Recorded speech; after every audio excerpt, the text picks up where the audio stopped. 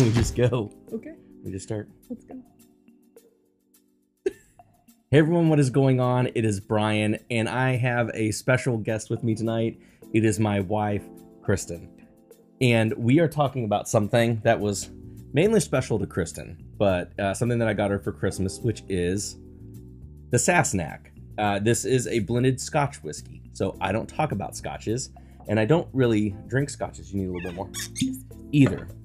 But this is uh, has a good story for us. Um, this is from one of the guys who was on the show Outlander, Sam Heughan. Sam Heughan, who is also Scottish Yeah. and and worked with um, uh, another master distiller or producer from Loch Lomond to to come up with this brand. And I, I thought I read somewhere somebody say something like, "This isn't just one of those celebrity whiskeys because Sam has a little bit more of a hand in the process here."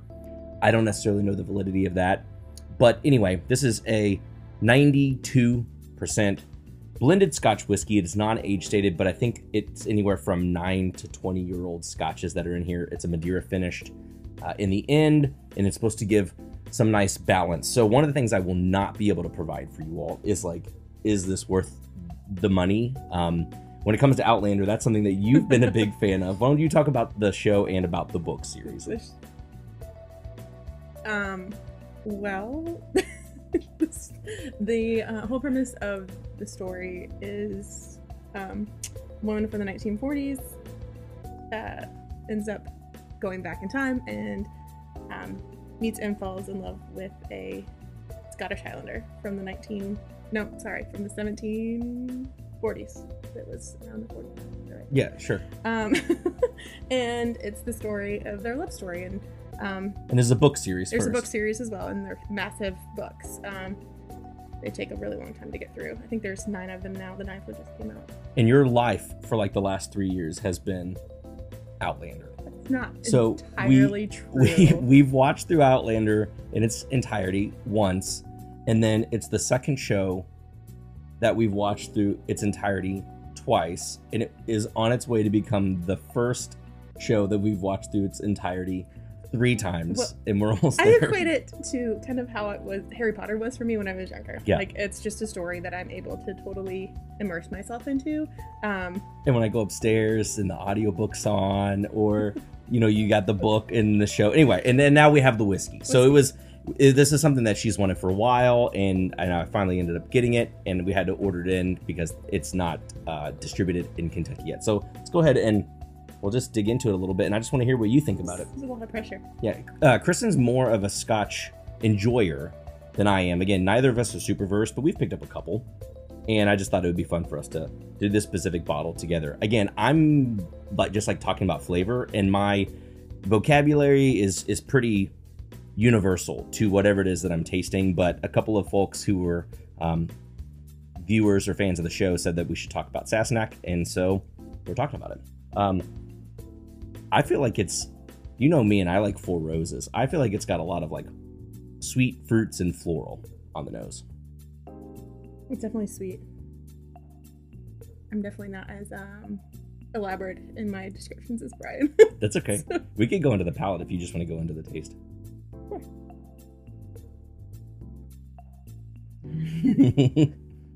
the one thing I have to be careful of, because Kristen points out all the time, is to make sure I don't aggressively chew. So I've told myself I'm gonna try not to aggressively chew while we do this video. Um, even on the nose, I feel like it smells like it's gonna be pretty rich for only being 92%. And the palate is, I don't know, a little richer than light. I agree. I feel like it's sweet, um, kind of like a decadent. But that's kind of what I think I like about scotches is that they have that like peaty. Um, I don't know if the right word, but like I think I was chewing. um, it's um kind of like a it's like a dessert, and Yeah, I think the maltiness makes it feel big in the palate, Mhm.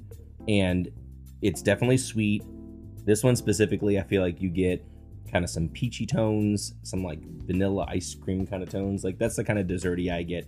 I don't really get a big cakiness necessarily, but you and I, I mean, we love eating pie. So like this definitely gives some kind of like fruit tart, fruit pie like notes, a little bit of vanilla. I definitely still get the floral on the palate too. hmm I feel like uh, the middle of the palate, we've kind of talked about whether it's uh, it's light or it's rich. I think the richness, uh, most specifically, is described to me like very honey-like. It, it has a kind of thick honey, like as if you put honey in a tea, or I don't know. It's got a honey-like sweetness that sits in the mid palate, and I feel like that gives a little bit of weightiness and a good sweetness that kind of plays with the floral tone as well.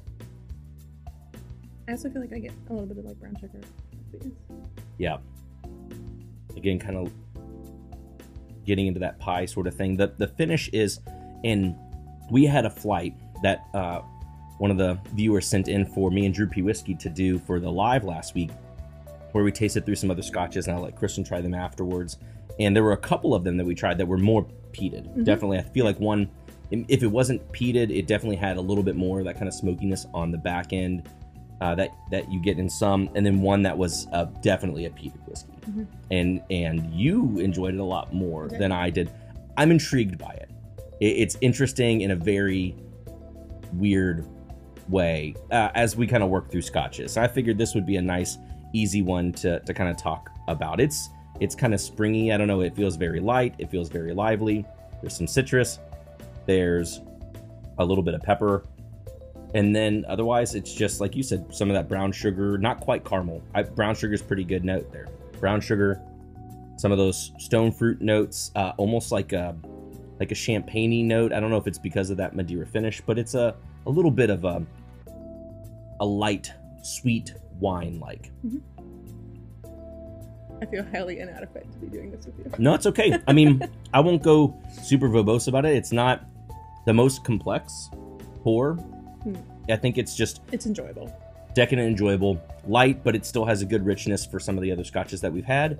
And that's about it. I mean, if you want us to talk about other scotches, let us know. This might be I would love to talk about other scotches. a new segment. We've talked about whether or not Kristen should jump on the channel with me more. Right now, this is just a bonus episode because I imagine most people are like, why are you talking about a scotch? That doesn't help me. You never talk about scotches. So this is a $99 product. To me, that seems like it's a little bit on the pricey side compared to some of the other enjoyable scotches out there that we've tried. Um, that other Balvenie that we got a sample of was a little more than this, but I definitely think the palate was better than this. But there's a lot of ones that we've tried on the shelf that have been in the I don't know, 55 to 85 dollar range that have also been enjoyable, but they all kind of taste like this type of scotch to me.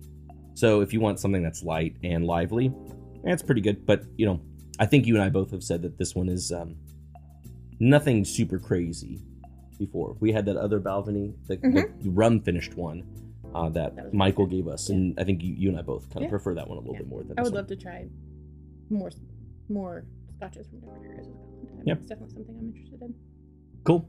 Well, we'll keep it short and sweet. Thank you all for giving my beautiful wife some grace and her first appearance on the show. If you all want her just to do her own channel and just nix me out of here so you stop seeing me chew, let me know. And uh, we can get uh, an abandoned husband channel You're going on YouTube.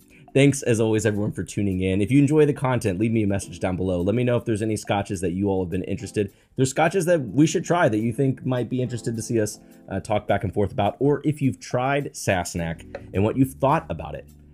Don't forget to tune in for extra content to Entry Proof Live on Drew P. Whiskey's channel. We're live on Thursday nights doing blind flights, maybe have some guests on, or talking about specific topics or non specific topics.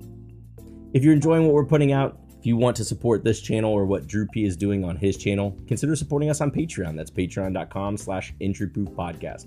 Until next time, everybody, we'll see you all later.